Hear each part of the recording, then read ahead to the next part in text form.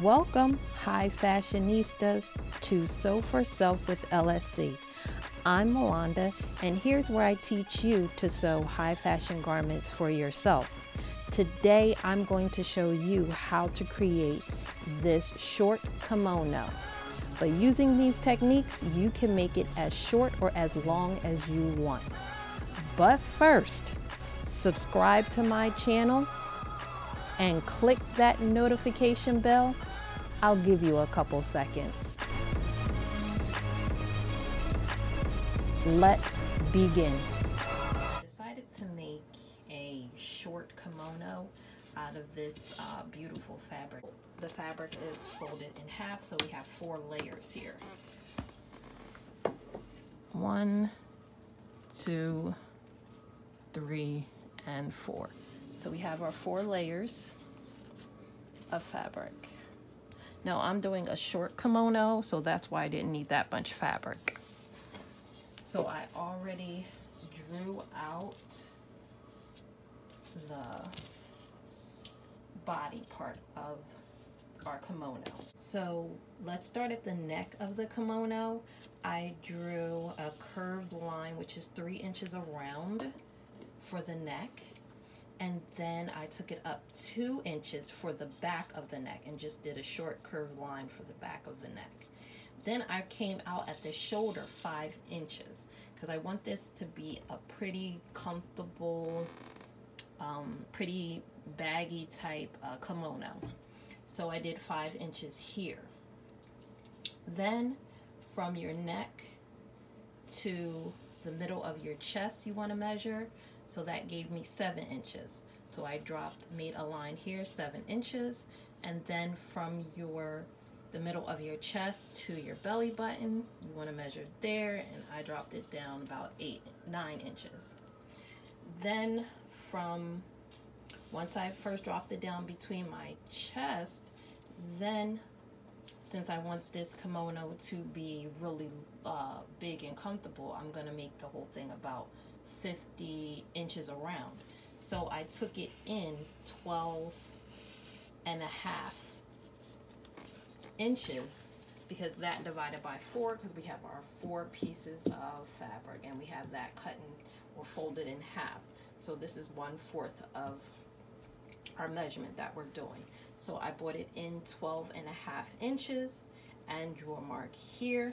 And then from here, you would just drop it down as long as you want to okay now to make sure it stays 12 and a half inches from your the middle of your chest down to your belly button you want to make a mark there and then you want to take it out 12 and a half inches and then just measure put your uh, yardstick down and just draw a straight line all the way down as long as you want it now come back up here and then you just want to do a curved line. You can use a curved ruler to do this to connect the two points.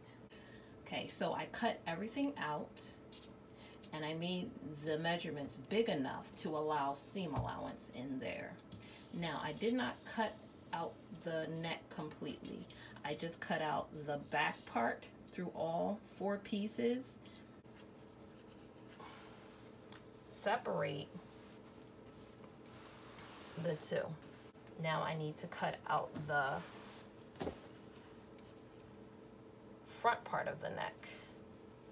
And now I can cut through the front part of the neck. Both pieces evenly. So draw a straight line down the center of your kimono. Then you want to draw, take your curved ruler and from the neck to the center, you want to draw a curved line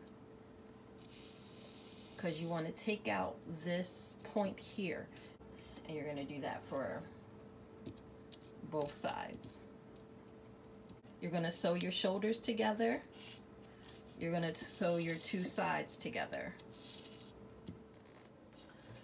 Okay, I have sewn my sides together. I've also cut out that curve at the neck. So now I want to work on the sleeves. So here is our sleeve.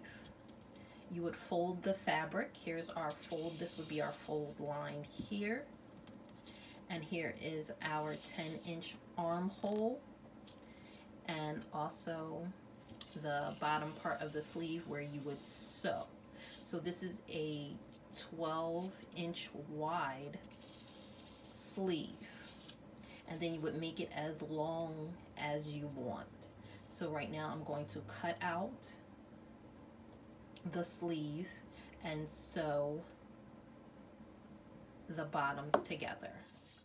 I have attached the sleeves on both sides. These strips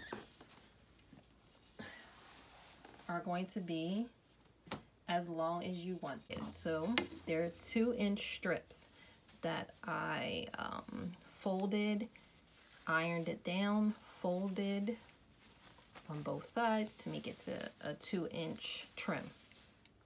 We're going to trim the entire jacket with these strips. We're going to take our strips and trim the entire jacket all the way around.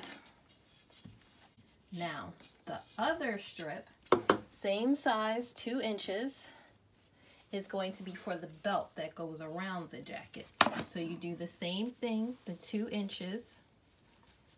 Okay, so I made them three inches on both sides. So this is actually six inches and I folded it in, folded it in half, and then folded it again to make it a two inch belt and this belt is extremely long because I want to double it when I wrap it around the waist. So that one is going to be for the belt and one will be for the trim of the kimono. And that will be the end of our jacket. Trim the entire coat using that two inch trim that we made so I trimmed the cuffs around the collar and also around the bottom. Here's our belt tied up. So this is our completed kimono. Thanks for watching Sew for Self with LSC. Like, subscribe, comment, and share this video. Till next time, High fashionistas.